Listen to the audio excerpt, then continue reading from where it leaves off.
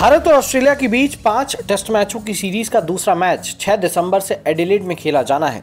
इस मुकाबले से पहले टीम इंडिया और प्राइम मिनिस्टर इलेवन के बीच दो दिवसीय वार्म अप मैच कैनबरा के मानका ओवल में खेला जा रहा है, लेकिन इस मुकाबले के पहले दिन एक भी बॉल नहीं फेंकी जा पाई। भारत और ऑस्ट्रेलिया के बीच पाँच टेस्ट मैचों की बॉर्डर गावस्कर ट्रॉफी खेली जा रही है। सीरीज़ के पहले मैच में टीम इंडिया ने एक तरफा अंदाज में बाजी मारी थी। अब सीरीज़ का दूसरा मैच 6 दिसंबर से एडिलेड में खेला जाएगा। ये डे नाइट मैच होगा जो पिंक बॉल से खेला जाएगा। पिछली बार team India pink ball test में ऑस्ट्रेलिया के खिलाफ 36 रनों पर ही ऑल आउट हो गई थी। ऐसे में भारतीय टीम इस बार तैयारियों में कोई कमी नहीं छोड़ना चाहती, लेकिन ऑस्ट्रेलिया से टीम के लिए एक बुरी खबर सामने आई है। पिंक बॉल टेस्ट की तैयारी के लिए team India prime minister eleven के खिलाफ दो दिवसीय वार्म अप मैच कैनबरा के मानुका ओवल में खेल रही है। लेकिन इस मुकाबले का पहला दिन बारिश में धुल गया। कैनबरा में लगातार बारिश हो रही थी, जिसके चलते मुकाबले का टॉस भी नहीं हो पाया और फिर दिन को रद्द करने का फैसला किया गया।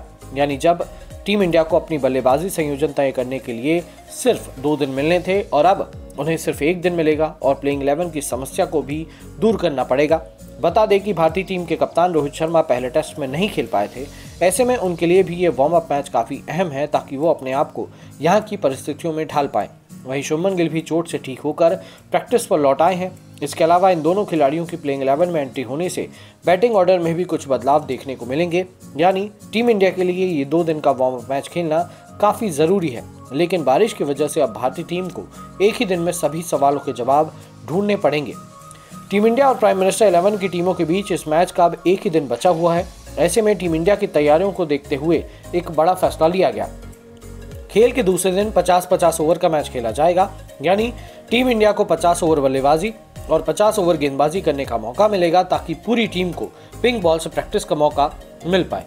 अब इस मैच की शुरुआत सुबह नौ बजकर दस मिनट पर होगी और आठ बजकर चालीस मिनट पर इसका टॉस हो जाएगा।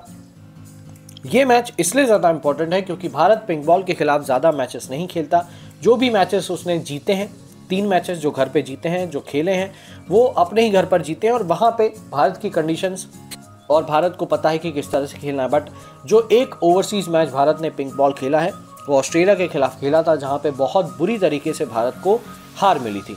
इसलिए टीम इंडिया चाहती है कि यार पिंक बॉल से पहले एक प्रैक्टिस हो जाए, साथ ही साथ कप्तान रोहित शर्मा अपने रंग में नज़र आ जाएँ, वो थोड़े से ऑस्ट्रेलिया की परिस्थितियों में ढल जाएँ।